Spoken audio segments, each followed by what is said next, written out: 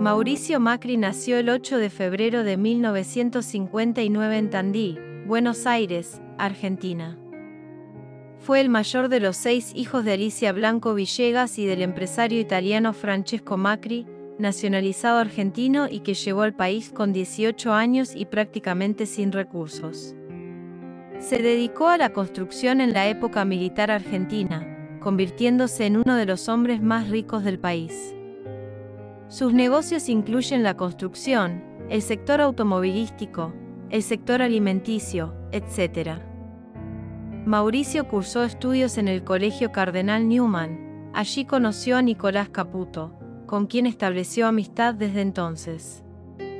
Posteriormente ingresó en la Universidad de Columbia en Nueva York, la Universidad de Pensilvania en Filadelfia, por un corto periodo, en la Universidad del Centro de Estudios Macroeconómicos de Argentina. Después, ingresó en la Universidad Católica Argentina, donde se licenció como ingeniero civil en la década de 1980. Se inició en el mundo laboral en la empresa Sideco Americana SA, donde trabajó durante tres años como analista junior y después como analista senior.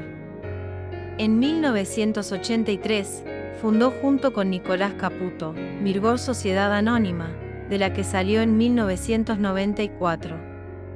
También trabajó en otras empresas como Citibank o el propio Grupo Macri. Antes de aparecer en la política, Mauricio Macri fue víctima de un secuestro extorsivo que lo tuvo encerrado en un pozo durante 12 días en 1991. Fue procesado por la importación falsa de autopartes que, en teoría, Venían de Uruguay pero su origen era, en realidad, de otros países siendo el gerente de Sebel Argentina, Sociedad Europea de Vehículos para Latinoamérica. Sin embargo, la causa fue sobreseída. También fue procesado por unas supuestas escuchas ilegales. A modo de encuesta. ¿Pensás que Macri hubiera hecho los cambios de base que el país necesitaba? Te leo en comentarios. Pero sigamos con la biografía. Boca Juniors. Presidente del equipo de fútbol Boca Juniors desde el 3 de diciembre de 1995 al 4 de diciembre de 2007. Reconoció que haber estado al frente de uno de los equipos más importantes del país lo marcó y le enseñó muchas cosas, incluso para desempeñarse en política. Diputado por Capital Federal, Buenos Aires, entre 2005 y 2007 y jefe de gobierno, alcalde, de la misma entre 2007 y 2015. En 2003, creó el partido Compromiso para el Cambio, que en 2007 se convirtió en la Alianza Propuesta Republicana, más conocida como PRO. En 2015, formó alianza con el ARI y la UCR para formar Cambiemos, para competir con el Frente para la Victoria, el partido de los Kirchner, encabezado por Daniel Scioli.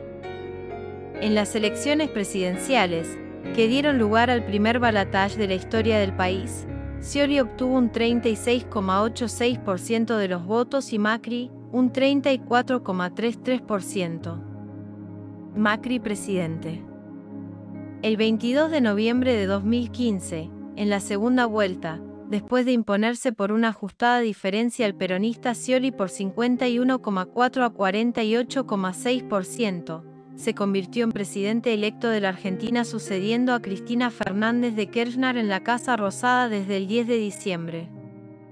El domingo 22 de octubre de 2017, la coalición oficialista Cambiemos, del presidente Mauricio Macri, ganó holgadamente las elecciones legislativas de medio término en Argentina, con más del 40% de los votos. La alianza conservadora se impuso cómodamente en las principales provincias del país frente a una oposición peronista muy atomizada. El triunfo del abogado Alberto Fernández, en las elecciones del 27 de octubre de 2019, devolvió el peronismo al poder en Argentina en momentos en los que el país pasa por una grave crisis económica y convulsión en América Latina. El Frente de Todos, se impuso con el 48,10% de los sufragios ante el presidente Mauricio Macri, que obtuvo un 40,36%, lo que supone una ventaja de casi 8 puntos, mucho menor que la que pronosticaban las encuestas. parejas e hijos. Fue padre de Agustina, Jimena y Francisco, en el matrimonio con Yvonne Bordeaux, de la que se separó en 1991. La hija mayor estudió cine en Barcelona y Jimena es artista visual. Divorciado, se casó con la modelo Isabel Menditegui en 1994, de quien se divorció en 2005.